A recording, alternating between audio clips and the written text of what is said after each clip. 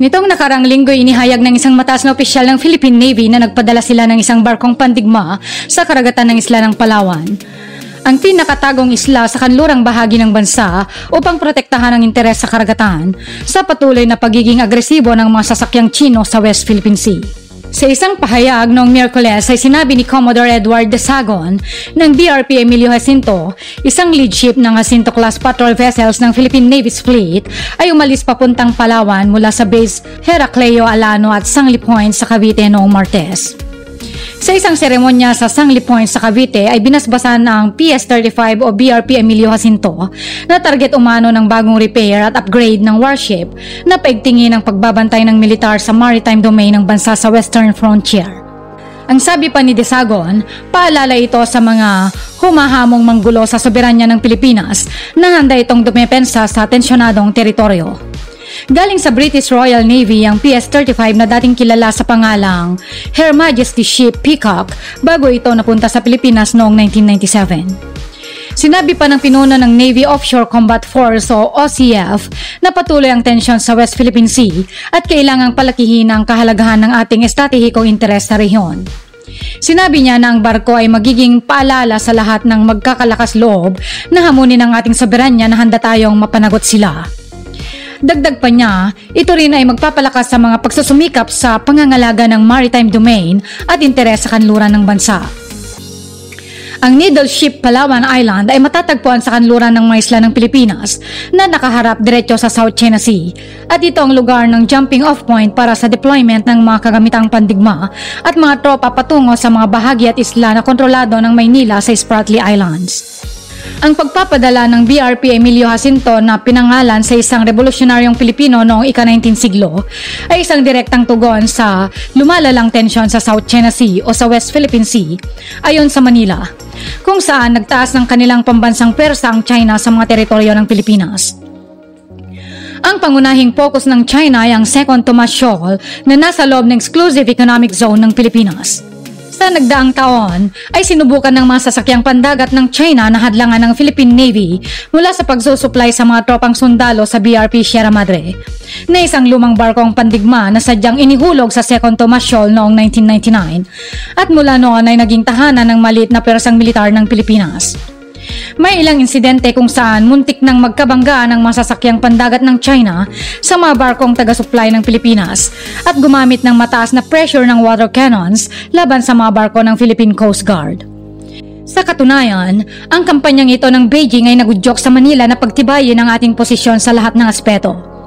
Pinaigting nito ang ating ugnayan sa ating alyadong bansa, ang Estados Unidos at pinalawak ang akses ng militar ng US sa siyam na base militar mula sa dating lima, kabilang ng dalawa sa Palawan. Plano ring iangat ang kalagayan ng mga pasilidad sa mga isla teritoryo ng bansa, kabilang ng Second Tomas Shoal, upang gawing mas maayos ang pamumuhay ng mga sundalo na nandon. Noong Nobyembre ay nagsimula rin ang Pilipinas ng Joint Maritime Exercises kasama ang Estados Unidos sa South China Sea.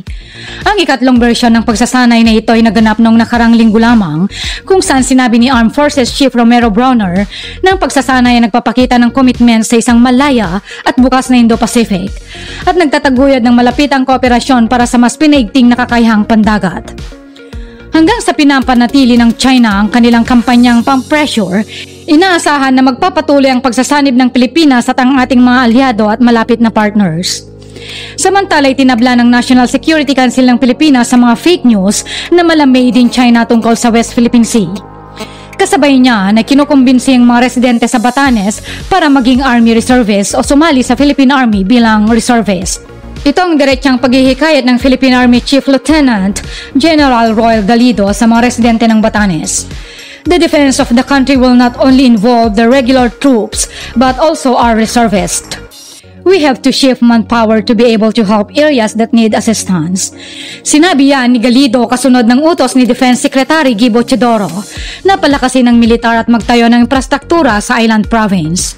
Kamakailan lang nang bisitahin ni Chidoro ang naval facilities sa mga bayan ng Basco, Muvulis at Mahataw. Malapit lang ang mga islang yan sa dulo ng timong ng Taiwan. Ayon kay Galido, makakatulong ang mga marerecruit na residente kung sakali. We use forces na may inter-island capabilities just like the Marines. Kaya kita sa Mavulis, there are Marine contingent there because they have the platform to go to islands. But more importantly, we have Army reservists in that area contributing to the defense. Hindi naman malinaw kung ilan ang kukuhaning reservists. Sa ngayon, 18,000 lang ang populasyon ng Batanes ayon sa datos noong 2020. Paglilinaw ni Galido, wala silang planong mag-deploy ng dagdag na tropa sa Batanes. We're encouraging our fellow Filipinos to volunteer to be paid royalties and be resurfaced. Kasi we don't need to deploy them because they are already residents in the area. So the more we get resurfaced, the better for our country. Ang Batanes din ang nakikitang isa sa mga venue ng balikatan na exercises ng Pilipinas at Amerika ngayong taon. Tinawag namang fake news ni National Security Council Assistant Director General Jonathan Malaya ang pahayag ng China. Sinabi kasi ng China Coast Guard na pinalayas nila ang barko ng ating Bureau of Fisheries and Aquatic Resources. So far, sa Bajo de Masinloc sa West Philippine Sea, I'm also surprised nung makita namin sa Global Times yung naging statement ng Chinese Coast Guard na may pinalis daw sila na BFAR vessel. Wala pong katotohanan nito mga kababayan. There's no truth to this. In fact, nandun pa rin yung BFAR vessel. Nandun sa Bajo de Masinloc yung BFAR vessel natin. Nakakabahala raw ang pagkakalat ng fake news na made in China. What's alarming about this is hindi naman ito. Ang source nito ay hindi naman vlog or social media influencer. Ang impormasyon ay nagmula mismo sa Chinese Coast Guard. Mahalaga ang pagiging mapanuri. Ayon kay National Security Advisor Eduardo Anyo, pinabulaanan niya ang mga pahayag ng China. Binanggit din na nagtutulungan ang ating Coast Guard at BFAR sa pagdadala ng supply sa Bajo de Masinloc.